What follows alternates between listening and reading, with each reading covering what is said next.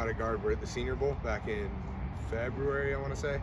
Um, so that was a big shock to me because I wasn't expecting it to be as different as it was back then. But I'm glad I got that experience because it gave me a lot of time in the off season to work on that.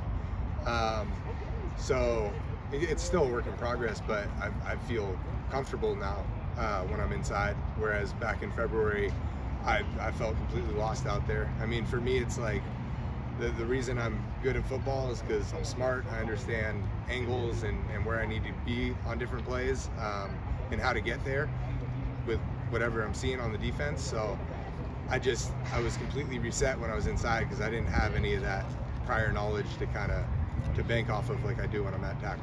What's